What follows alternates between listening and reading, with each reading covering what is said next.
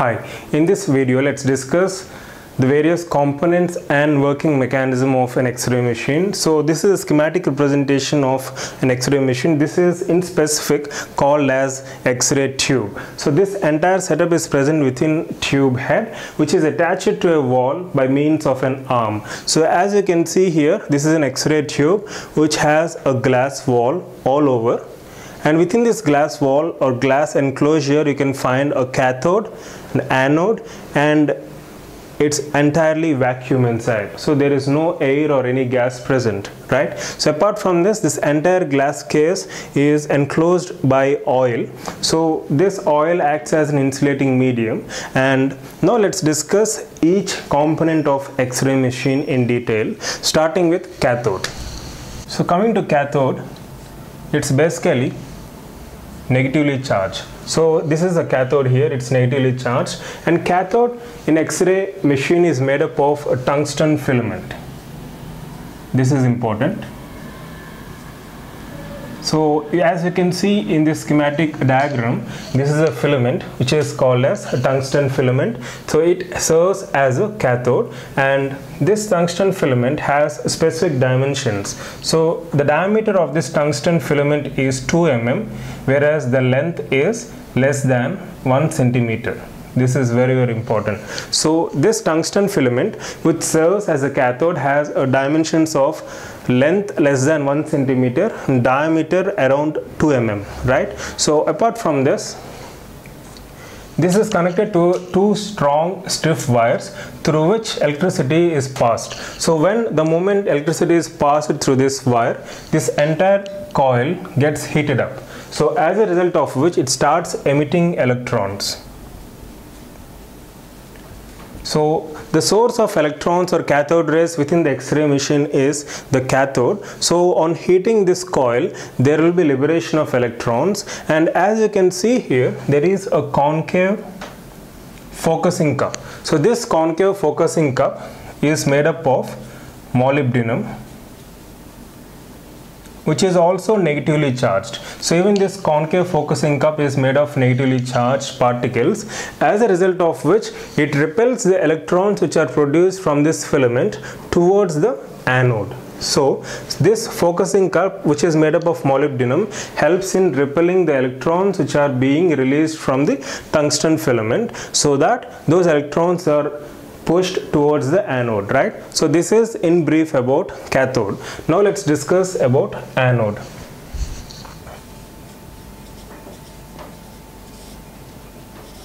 So anode is made up of tungsten again. And the reason why we're choosing tungsten over other metals is because of following reasons. So tungsten basically has very high atomic number which is around 74 not around which is exactly 74 and it has very high melting point which is around 3400 degrees centigrade and also it has very high thermal conductivity and very low vapor pressure this is very very important the reason why we are choosing an anode which is positively charged the anode material is also made up of tungsten because of the following reason. Since it has high atomic number, the rate of formation of X-ray photons is much more efficient and higher. And also since the melting point is very high, so this anode is prevented from getting melted because of the high speed electrons which are entering and impinging onto the anode.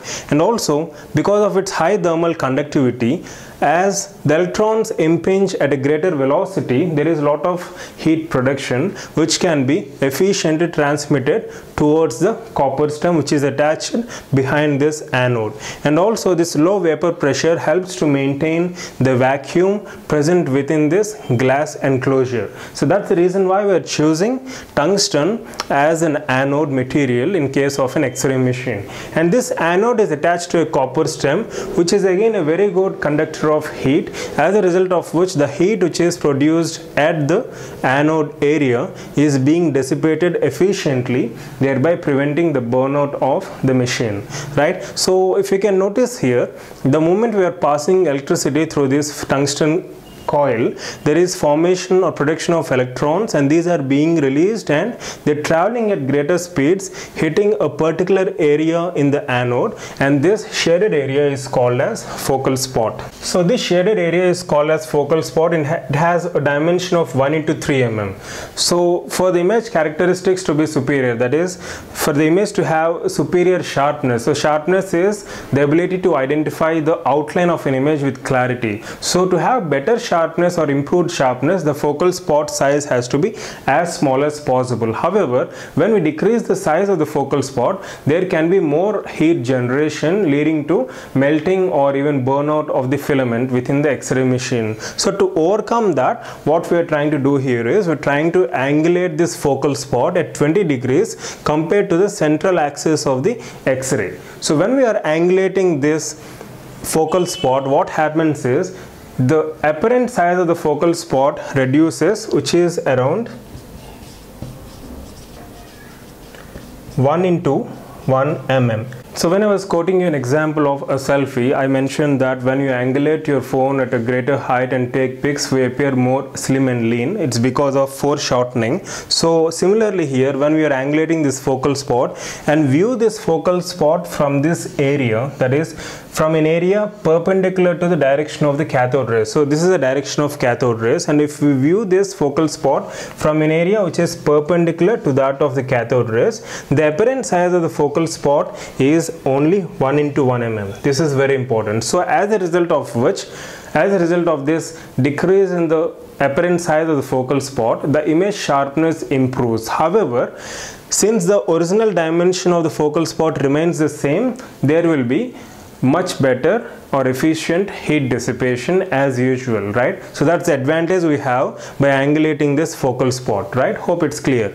And when i was discussing regarding the internal environment we should maintain a vacuum right? So this vacuum is being maintained in order to prevent collision of these high speed electrons with various air molecules. So what happens when there is collision is that first thing is when there is collision of these electrons with air molecules the speed of these electrons might decrease thereby leading to formation of low energy X-ray photon. And also if there is presence of air within this glass enclosure there can be burnout of the filament or oxidation of the filament. So to prevent this we're trying to maintain vacuum right so when we are passing a current through this tungsten filament it gets heated up and the temperature of this filament is directly proportional to the quantity of electrons that are being released. That is, the greater the temperature of the filament, the greater would be the number of electrons being released. So once these electrons are released because of this electrostatic repulsion from this molybdenum focusing cup and also because of the attraction from the opposite charge,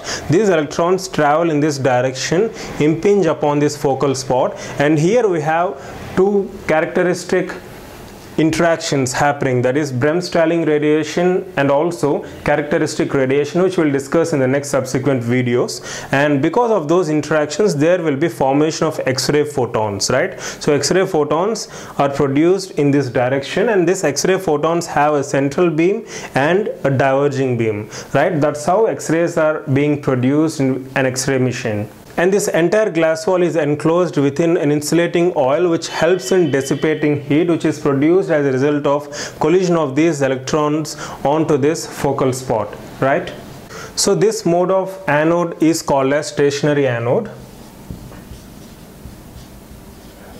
as it is not moving.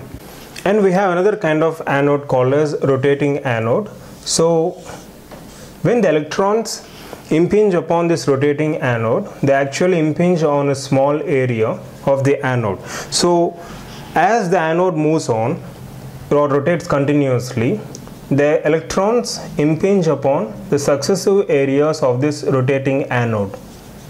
So what i'm trying to imply here is the apparent focal area remains smaller as a result of which the image sharpness is improved Moreover, the heat dissipation is also improved because the actual size of this anode is larger, right? So that's how we are trying to obtain superior sharpness with better heat dissipation in case of rotating anodes. And most importantly, with rotating anodes, this can be operated with currents of 100 to 500 milliamperes which is 10 to 50 times greater to the amount of current which we use in case of stationary anode.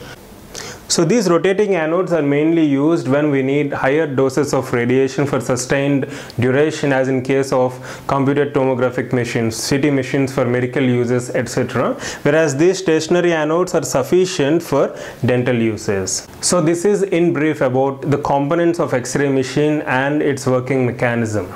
Thank you.